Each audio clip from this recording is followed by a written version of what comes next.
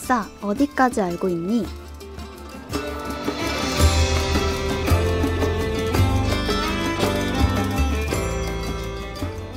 안녕하세요 여러분. 드디어 중간고사가 끝이 났네요. 그러게요, 상훈 씨. 유독 이번 중간고사 너무 힘들지 않았나요? 시험이 있는 과목과 그렇지 못한 과목들 때문에 쉽지 않았던 것 같아요. 지영 씨는 시험 잘 보셨나요? 아, 전 너무 잘 봤죠. 상훈 씨는 잘 보셨나요?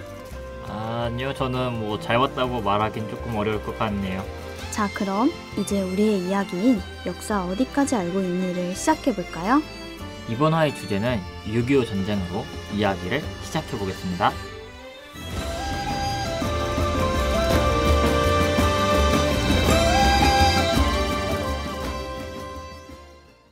한국에서 6.25는 큰 변곡점이지 않나요? 네, 맞습니다. 요즘 또 중국에서 6.25를 가지고 굉장히 많은 이야기를 하고 있는데 중국이 참전하지 않았다면 한국이 이겼을 것이다 라는 평이 조금 있더라고요. 요 근래 6.25 전쟁을 시진핑이 항미 원조 전쟁이라고 말하는 것을 중국 출신 한국 아이돌이 SNS에서 좋아요를 누르더라고요. 그게 지금 좀 문제가 됐답니다. 자, 사담 그만하고 이제 영화 이야기를 좀 해볼까 합니다. 이번 영화는 장살이 잊혀진 영웅들입니다. 많은 분들이 인천 상륙 작전은 알고 계시지만 장사 상륙 작전은 모르시더라고요. 지영 씨는 알고 계셨나요? 아니요, 저도 몰랐는데 이 영화가 나온 것을 보고 알게 됐답니다. 그래서 이번 영화 인천 상륙 작전이 아니라 장살이 잊혀진 영웅들이라는 영화였군요. 맞습니다. 저희 방송의 주제가 모르는 내용을 알려드리는 방송이기 때문에 그렇게 선정했답니다. 지영 씨가 영화에 대해서 알고 계신 것 같은데 영화 보셨나요? 이번 영화는 생각보다 재미있어서 좋았습니다. 다른 6.25 전쟁과는 달리 학도병을 주제로 했다는 것이 인상 깊었어요. 자, 그럼 영화를 설명하기 전에 노래 한 곡 듣고 오겠습니다. 김장훈의 친구요.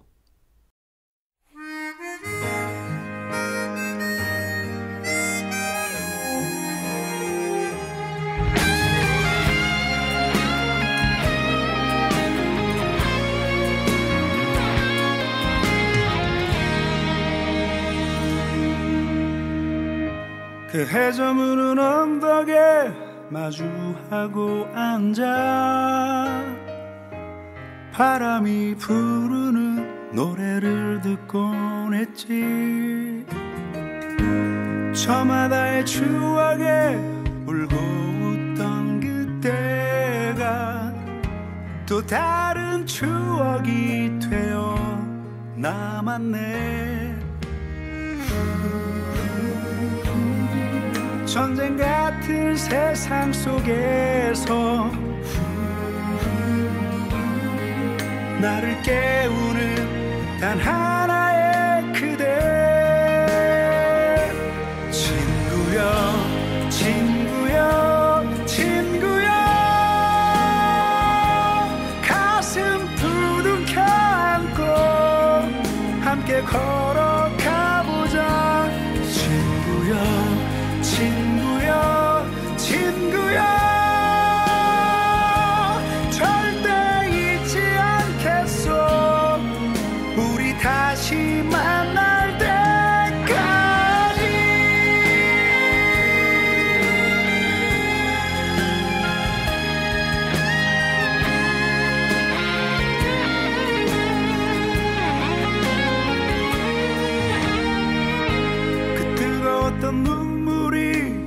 가슴을 적시며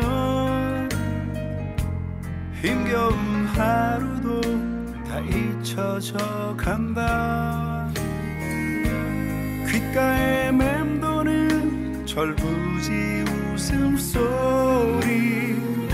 그 어느 하늘 아래서 잠드나.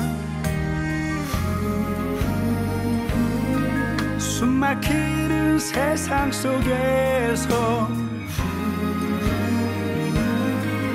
나를 달래는 단 하나의 노래.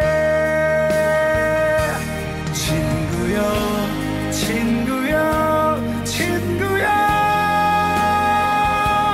가슴 두둥켜 안고 함께 걸어가보자. 친구여 친구여.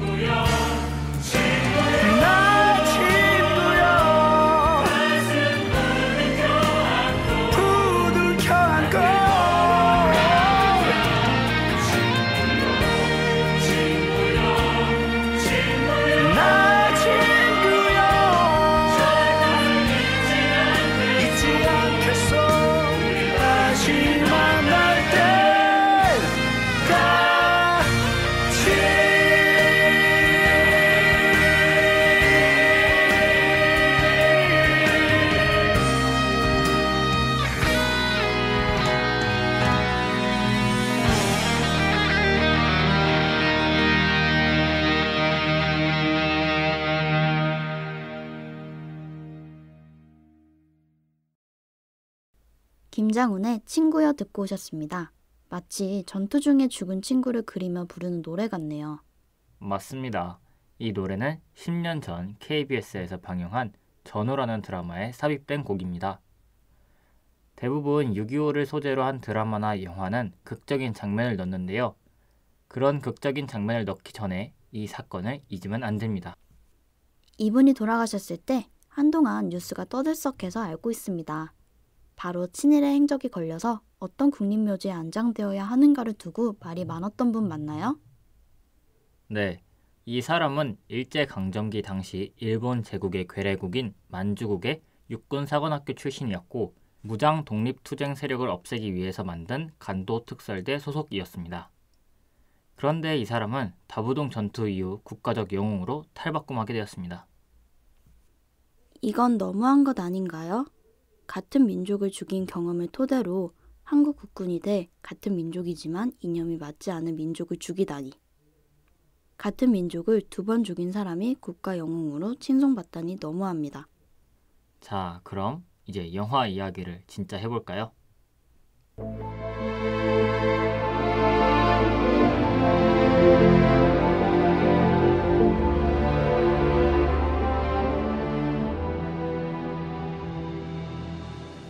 영화 장살이 잊혀진 영웅들은 772명의 학도병이 장살이 해변에서 인민군과 싸우는 이야기입니다. 당시 날씨는 태풍이 오는 것과 같은 날씨를 보여줍니다. 그런 날씨에도 학도병을 태운 문산호는 장사리로 향합니다. 지원해주겠다는 약속을 받았는데 날씨로 인해 전파가 원활하지 않아 연락이 두절됩니다.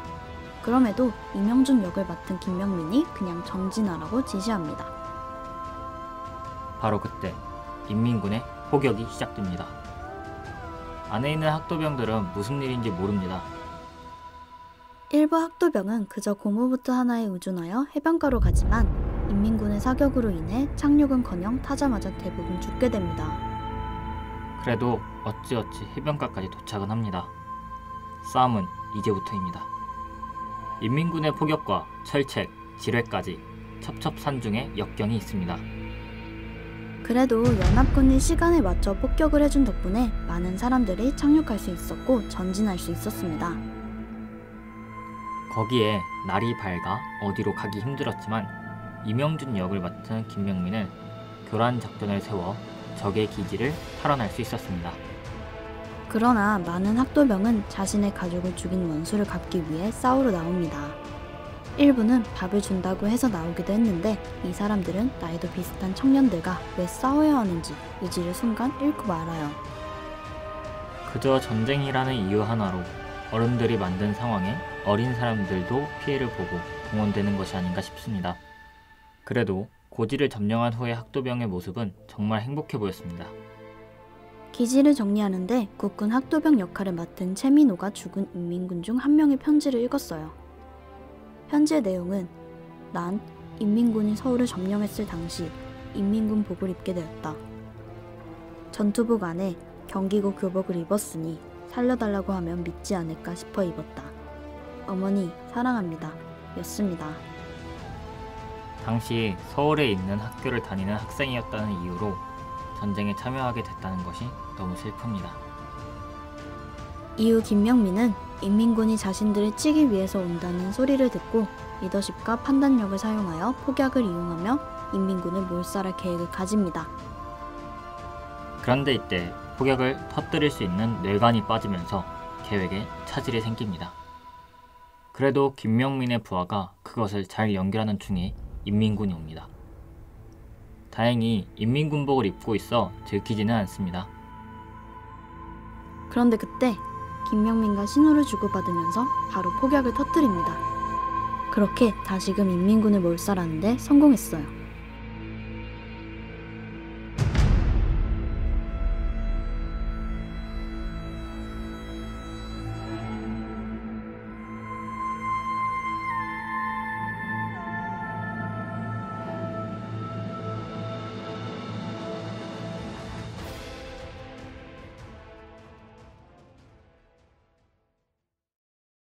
당시 먹을 것이 떨어졌던 국군은 근처 마을에 가서 먹을 것을 구하려고 하는데 하필 그곳에 인민군이 있습니다.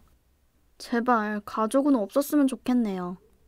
왜 이런 영화나 드라마는 꼭 가족이나 연인이 나올까요? 여기선 사촌이 나옵니다. 어, 정말 왜 그런 걸까요?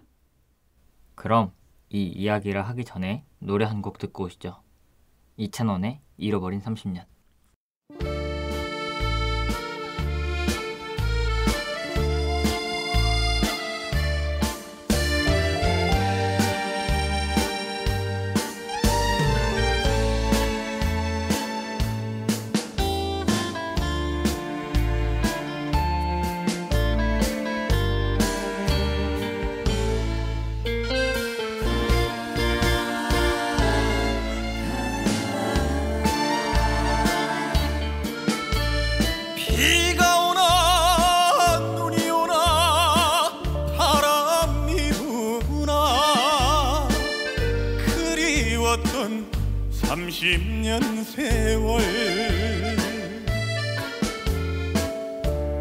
의지할 곳 없는 이 몸 서러워하며 그 얼마나 울었던가요? 우리 형제 이제라도 다시 만나서 못다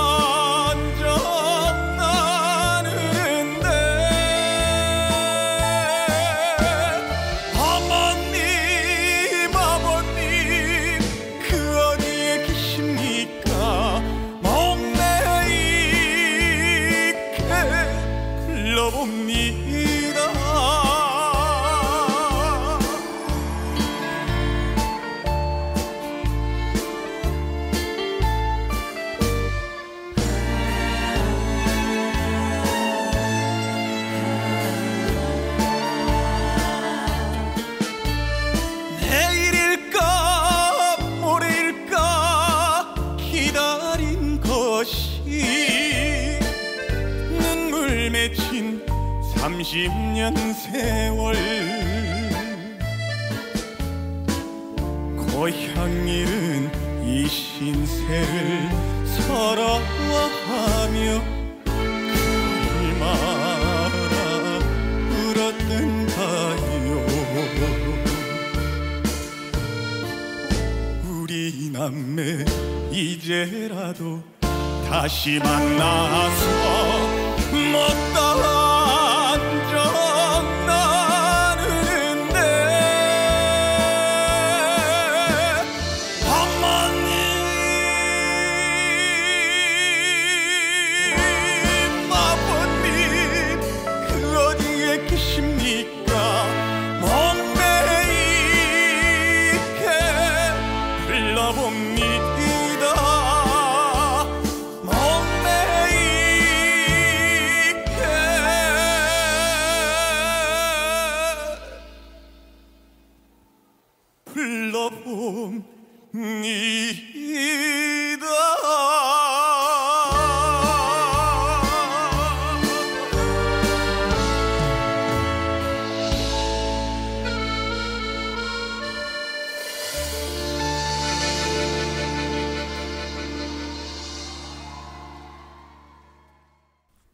이찬원의 잃어버린 30년 듣고 오셨습니다.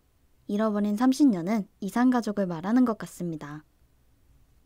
이 노래는 1983년 이산가족 상봉 특별 생방송에 삽입된 곡으로 실제로 이 가사는 그런 내용을 담고 있습니다. 그렇군요.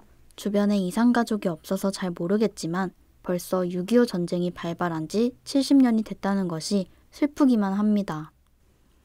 그래서일까요? 6.25 전쟁 관련 드라마나 영화에서는 헤어진 가족 혹은 연인들과 관련된 이야기가 참 많습니다. 처음 음악에서 언급한 드라마 전우는 연인이 남북한 군인으로 만난 이야기입니다.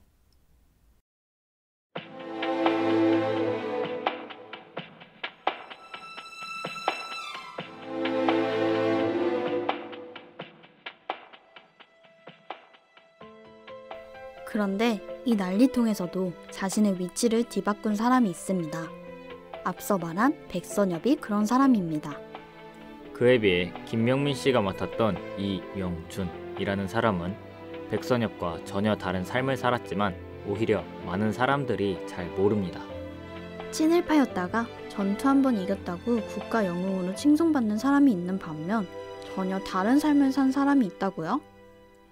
이명준이라는 영화 속 인물은 실존 인물 이명흠이라는 분의 이름에서 따왔다고 합니다.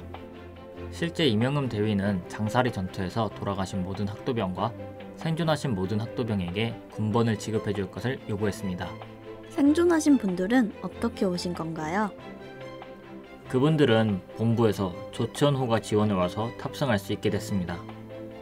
그런데 이분들은 군번이 없이 전투에 임했습니다. 오, 조치원호라니 신기하네요. 그건 그렇고 군번 없이 전투에 임했다는 건 그냥 전투에 먼저 나갔다는 거 아닌가요? 네, 학생들을 모아서 군사훈련을 시킨 후에 투입한 경우여서 이명흠 대위는 이군들에게 군번을 지급하기 위해 돌아가시는 날까지 노력하셨다고 합니다. 이런 분이 있던 반면 백선엽과 같은 사람은 참 그런데 백선엽과 같은 사람이 또 있습니다. 이 사람은 대통령까지 했고 얼마 전에 이 사람이 서거한 날이기도 합니다. 바로 알겠네요. 박정희 전 대통령 맞나요? 맞습니다. 친일파이고 독재자였지만 국가 경제를 발전시켰다는 점이 앞에 두 가지를 모두 상쇄시킵니다. 알고 보면 우리나라 역사에도 정말 많은 친일파들이 권력을 잡고 살았네요. 그런데 역사라는 게 참 아이러니한 게 세조와 단종 이야기를 할 때도 어른들 싸움에 어린 사람들의 희생이 사용된다고 했는데 이번에도 그런 결과가 나왔네요. 역사의 중요성이 여기서 한번 드러나는 것 같습니다. 어떤 사람은 역사를 이용해서 자신의 지위를 바꾸려고 했는데 그것이 아이러니하게도 성공했고 어떤 사람은 그저 불쌍한 아이들을 역사에 남기기 위해서 노력했는데 기억되는 건 지위를 바꾼 사람이라는 것이 참으로 안타까울 따름입니다. 네, 맞아요. 이제는 이영음이라는 분을 더 많이 알아둬야 하지 않을까 싶습니다.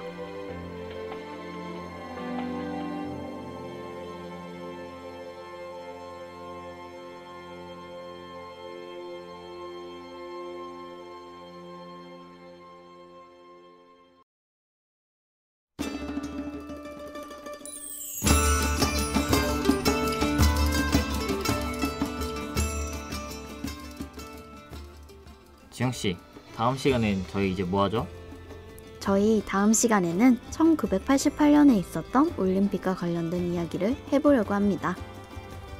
팬대로 들어왔는데 왠지 모르게 내용이 방대해질 것 같다는 생각은 혹시 저만 드나요? 네, 제작 부장님만 그런 생각 가지고 계시는 것 같네요. 아, 거참 너무하시네요. 자, 그럼 저희는 다음 주 이 시간에 만나요. 그럼 다음 주는 올림픽과 서울의 변화에 대해서 이야기해 보겠습니다.